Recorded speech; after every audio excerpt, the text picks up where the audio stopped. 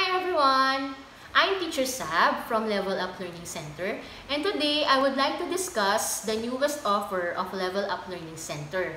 So as we all know that school year 2020 to 2021 we have to convert into online class. So we have preschool online class, we have pre-kindergarten for 4 years old and nursery for 3 years old students. But we have uh, we receive uh, lot of inquiry regarding parents, especially working parents that don't have time to assist their children during online class. Especially our class is from Monday to Friday. So, medyo busy yung ibang mommy.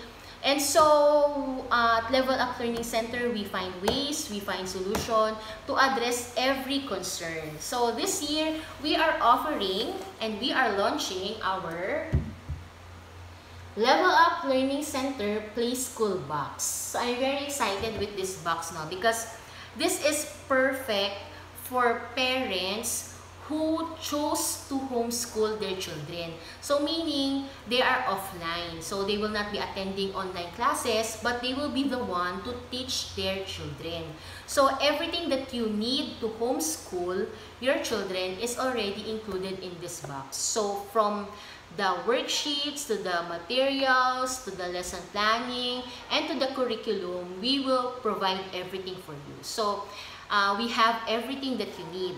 Okay, so as I've said, I will unbox this first box so you will have an idea what's included inside the box for this oh, for this month of August. So, um, this box will be uh, available starting August 10. So every month we have new box until April. So every month I will unbox the boxes so you will have an idea what's included every month sa aming Play School box. So since this is our initial offering, this is our first box, we will be giving freebies. So as a way of giving thanks to the parents who subscribe in our Play School box, you will be receiving these freebies. So we have clay, we have scissor, we have glue, pencil, crayons, sharpener, and eraser. So for this month of August, this these are the freebies. So for September, wala na pong freebie, but you you will receive of course the materials, the worksheets and everything. Okay. So for this month, um, our topic is letters. Letters and shapes. So for the month of August, you will be teaching your children uh, identifying and recognizing the alphabet and its sounds and the different shapes. Okay. So for this month, we have prepared 40 worksheets. So Uh, madami po kaming worksheet na prepared for the children. Basically, you can do two worksheets a day if you chose to homeschool your children five days a week. So, this will be the worksheets. Yan, to give you an idea, so this is letter concepts. Ayan po. So, ayan. So, letter C. What else? Uh, and beginning beginning sounds. Ayan. So, that's it. So, you can homeschool your children 5 days a week. Pwede rin pong 3 times a week or twice a week. Pag once a week po kasi medyo mahirap na since napakadami na po ng topic na kailangan yung ituro for, for your kids. So, ideally, you can do 3 uh, times a week or 5 days a week. So, yan po yung aming worksheets. We have 40 worksheets for this month. And each worksheet po, we have different activities. So, like this one, we have um, we have tracing. Uh, we have sorry, we have tracing activities. We have tracing activities. We have cutting worksheets. Like that. Kaya po, included na rin yung scissor, scissor nila. So, for their cutting activity. And to give you an idea, uh, very important po talaga that you you practice cutting. Kasi po, um, may mga nagtatanong why some kids nahihirapan pang magsulat. Because the problem is that very, very ano pa po, very malambot pa yung kanilang mga muscles, kanilang mga fingers. And by doing these cutting activities, tracing activities, and uh, playing clay, play-doh, it improves their ano, it improves their fine motor skills. So, ayan po, marami pong activity. So, not only cognitive skills ang included in the worksheets, but also different activities like for the for the fine motor development. So like this one po, you, uh, you need to use manipulatives. So isa din po yon na nakakapag-develop ng kanilang mga uh, fingers, kanilang mga muscles. And everything that you need here is already included. Like, may mga activity po dito that you will be needing clay. And also included like this, manipulative.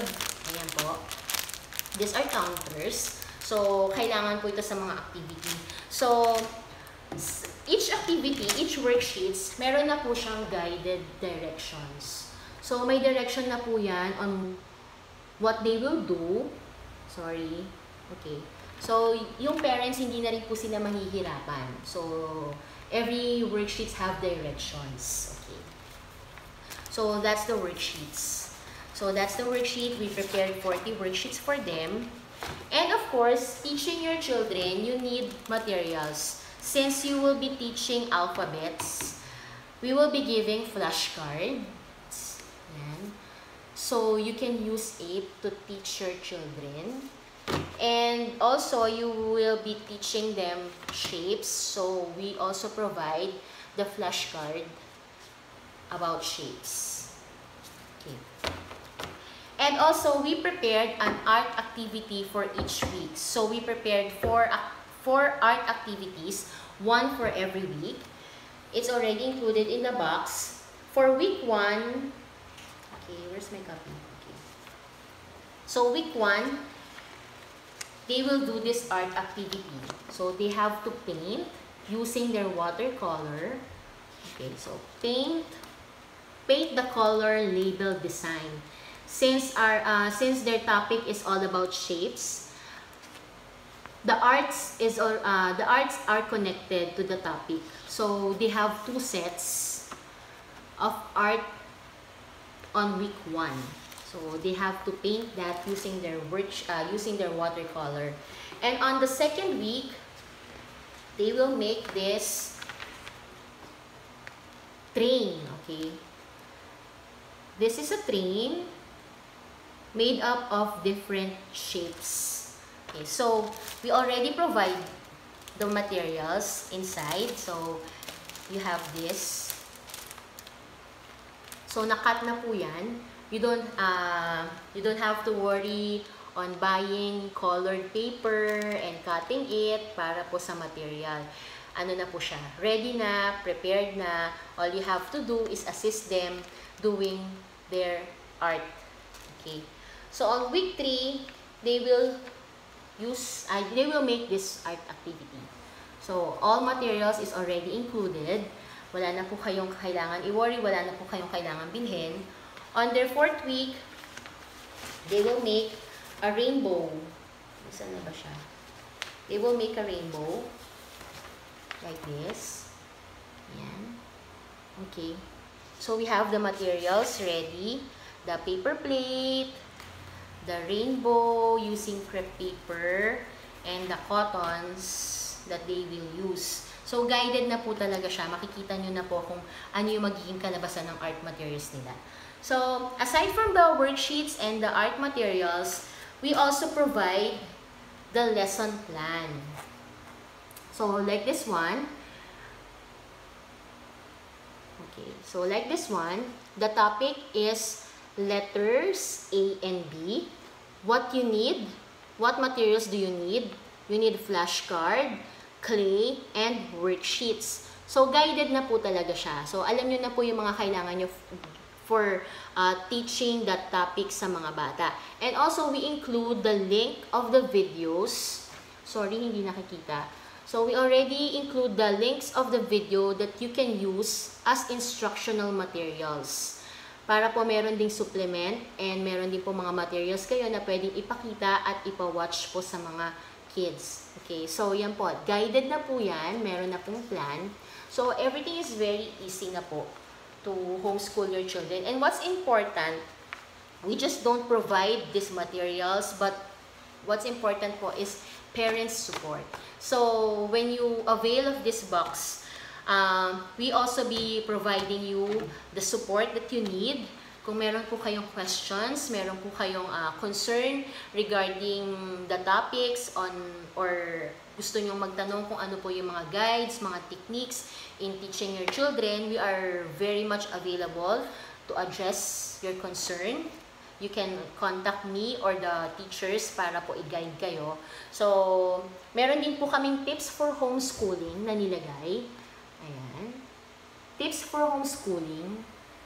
So, these are certain, these are uh, listed tips on homeschooling your children. So, meron din po dito mga examples ng schedule nyo.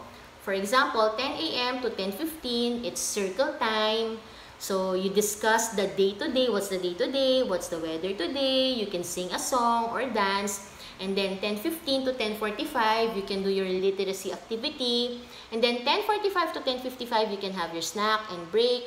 So, yun po. Uh, these are the tips that you can do. And lastly, very important, sabi dito, don't worry and don't be pressured.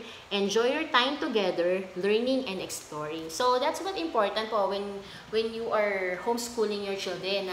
Don't be pressured. Kumaga, take Just take your time, uh, enjoy your bonding together with your children, and ano, maga, let them learn in their own pace and their own time.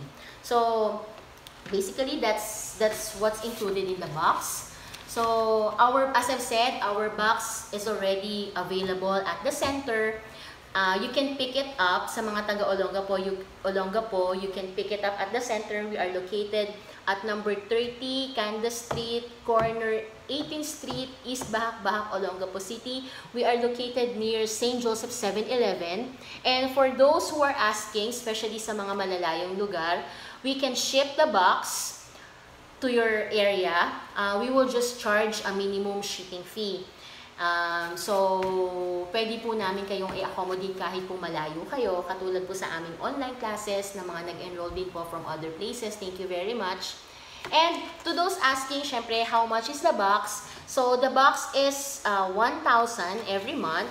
But if you subscribe for for uh, for 8 months, we will give you discount of 200. So, it will be 800 800 pesos a month. If you subscribe for for 10 months, I'm sorry, not 8 months. If you subscribe for 8 for 10 months, uh, the box will be 800 na lang po. So discounted na siya. So yun po, thank you very much for um, for watching our video. And next month, I will see you. The topic next month is the continuation of the letters, which is from letter N to letter Z, and colors. So, I'll see you again. I hope to see you. And of course, keep safe and God bless. Thank you everyone. Bye!